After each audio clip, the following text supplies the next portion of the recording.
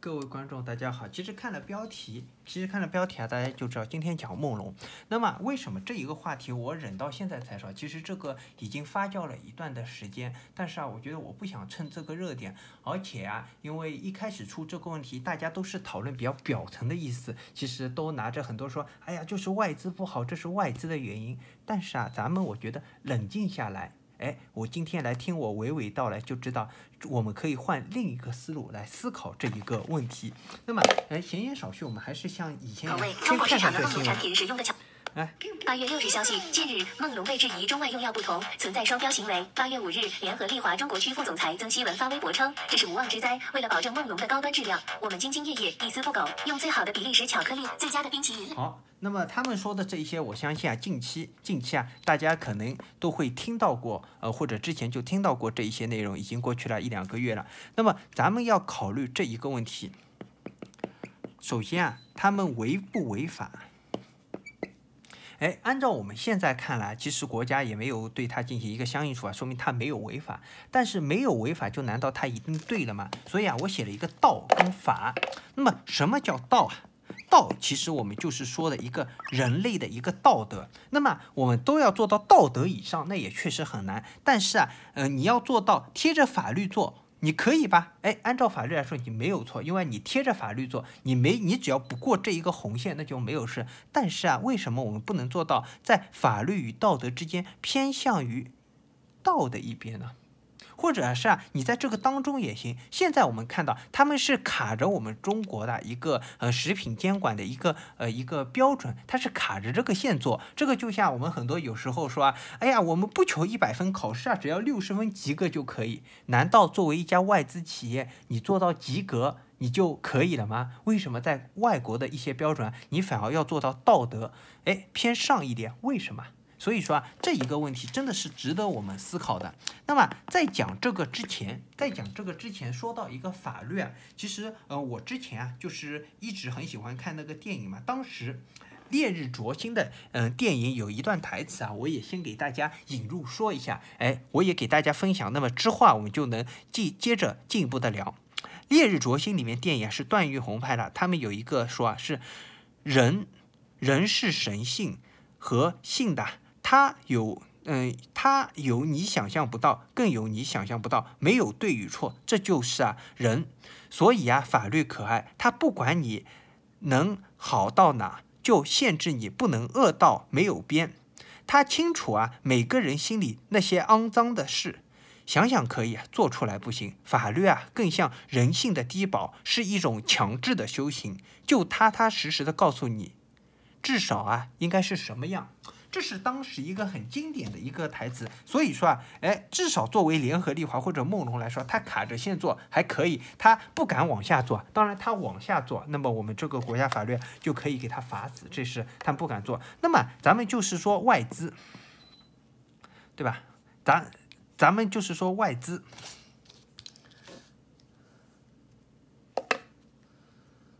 对吧？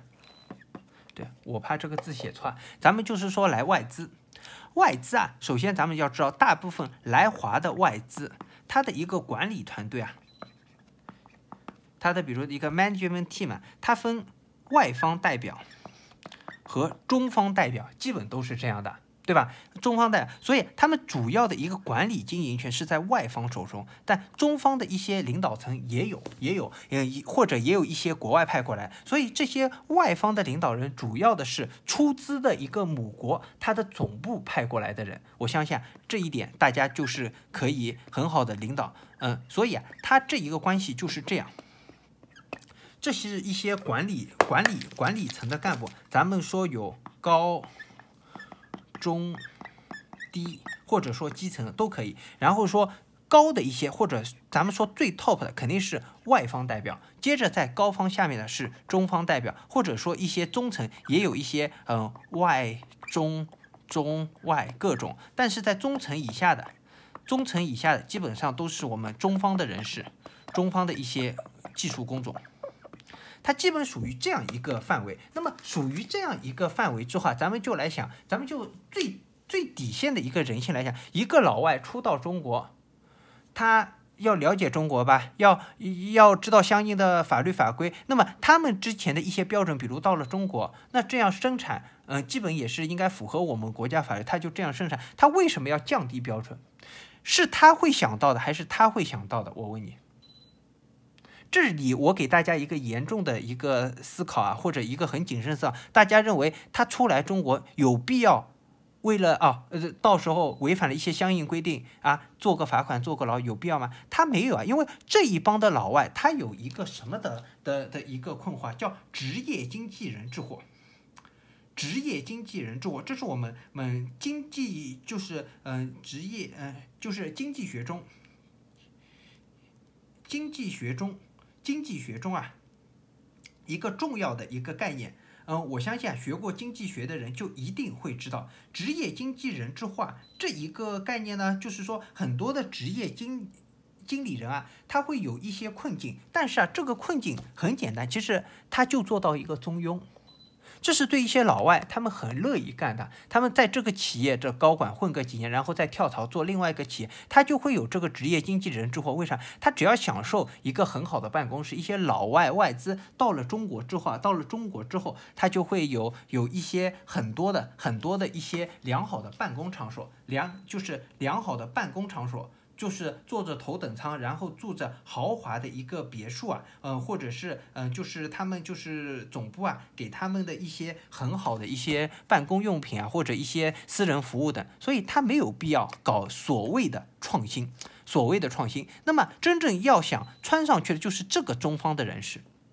所以，这是我认为很多外资，如果大家在外资干过的，都会知道，真正的一些外资的一个 top 的老大，他看上去还是很 nice 的。然后，真正真正对你比较严苛或者比较严厉，所谓的压榨你的是一些中方的一个代表。那么，很多人会说，你这是乱说啊，这是一个呃老大，他他都是这样。你看看马云，或者是是那个呃，就是。嗯，马化腾对吧？他们对基层员工看着都很 nice，其实都很完。那那么这一点是可能存在，但是我我我们要知道，谁有这个动力来驱动这个东西？因为咱们看到很多的一些些就是呃外资的一个商品，一一嗯一个商品。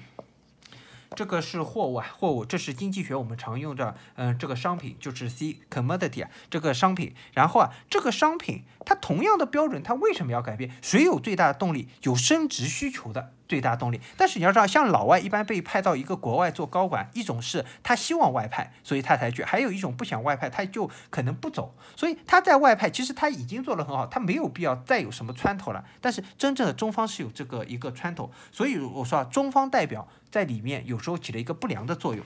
那么这一个体系是什么？咱们来想这一个逻辑，这比如啊是生产一个，比如一个对于一个牛奶。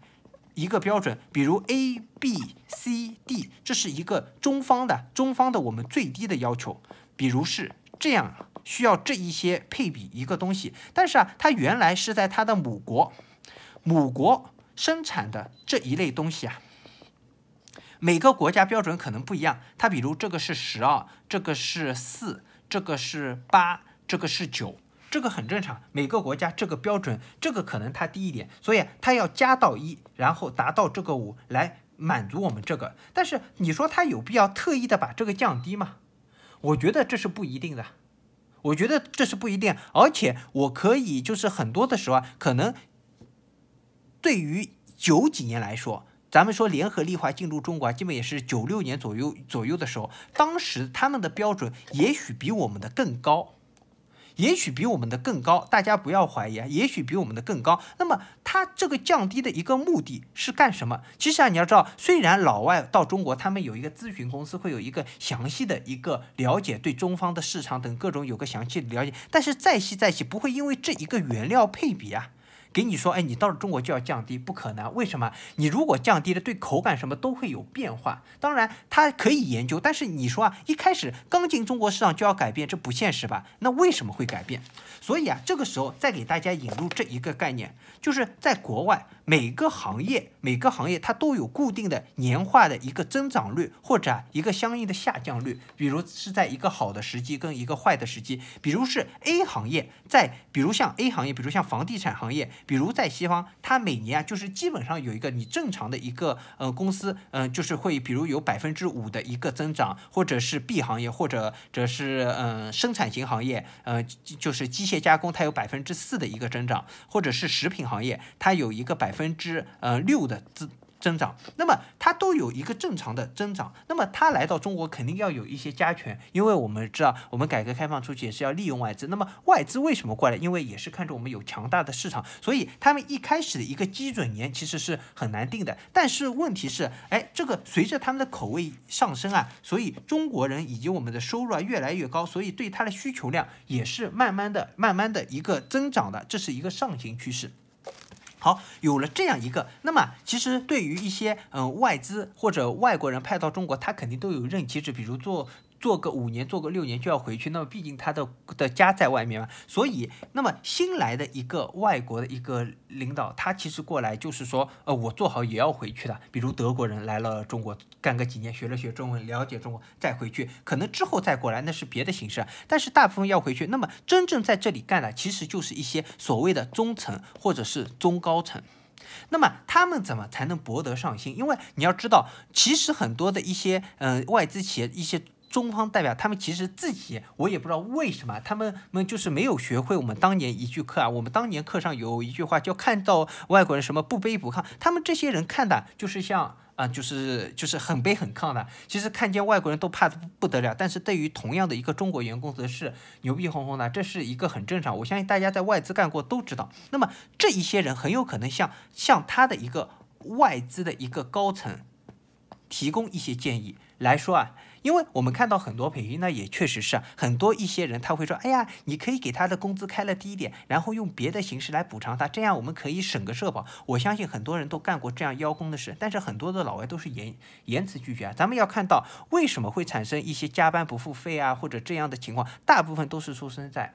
中资企业、外资企业很少发生这样事，为什么？它没有必要，因为它有一个良好的一个财税财务系统，它没有必要到一个国家去犯这个法，而且这个法而且是很严重的，只有一些。哎，我们说的一些所谓的一些解说，哎呀，加班加班是你的福报，不拿工资，呃，不拿工资加班也是你的福报。所以说这个还是很少，因为我也认识很多同朋友啊，在外资企业工作，那他加好班，然后就可以打个车，然好像加到九点之后就能打车免费，无论你坐多远，然后你加班你自己写多少时候他都认。其实这是，所以我认为啊，外资高管他没有必要担这个风险。但是你要知道，像这些。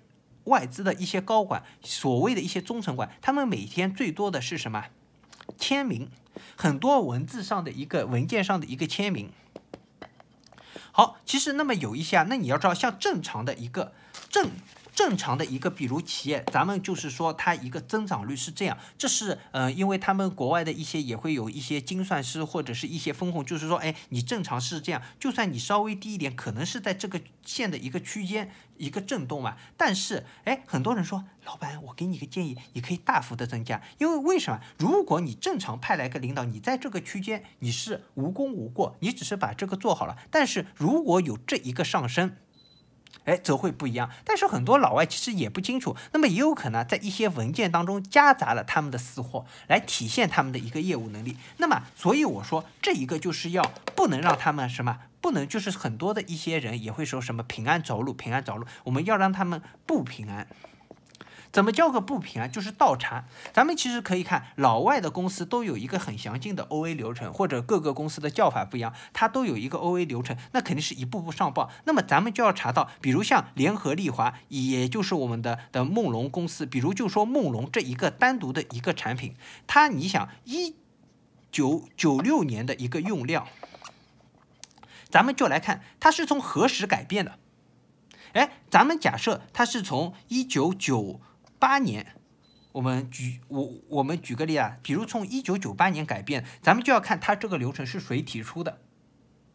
如果是这样倒查的话，就能知道这个原因是出在哪，而不是说现在说，哎呀，你让它改回来，改回来是简单，但是这个不解决一个根本的问题。我们现在很多的一些外资企业为什么对中国的标准跟外外国的标准不一样？那么咱们要查这个背后的原因。那么梦龙一开始肯定还是按照之前的咱们说的跟国外配料是一样的。那么为什么会改下来？就要看谁签的字，谁提的议。所以啊，我们这里就要要就要有一个行业禁令。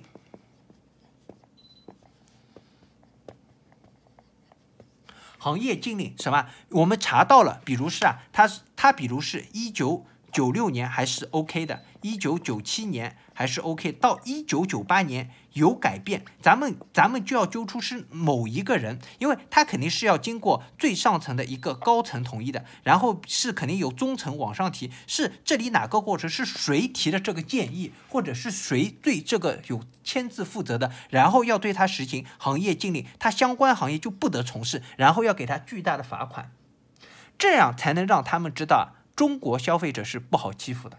我们的权益是不能受到侵害的，因为为什么？他可以说我没有违法，但是你这个已经没有人性、没有道德了，你哪天说不准就违法了，对吧？因为你一直卡着法律的边缘嘛。你可以说我从来都不穿马路，对吧？你从来都不红灯穿马路，那有几种情况？一种是啊，红灯亮了，亮的那一刹那你过了，因为像有时候一些规定，你红灯亮的那一刹那你过了马路，你必须得过完。但是如果你每次都是卡着这个。点来过，那我觉得你很有可能走向一些不良的途径。那么咱们就是说，刑法的书你要好好看，你要给自己做个辩护了。所以说啊，如果你是经常的，就是绿灯一亮就走，那这一种，哎，我还可以情有可原。所以啊，咱们就是要查这一个是谁在这个流程当中签字，谁批准了这个流程，咱们来倒查，要查到这样一个性质啊，咱们才能禁止这样一些，哎，同样是给国外人吃的或者使用的东西，要跟中国人为什么就不一样？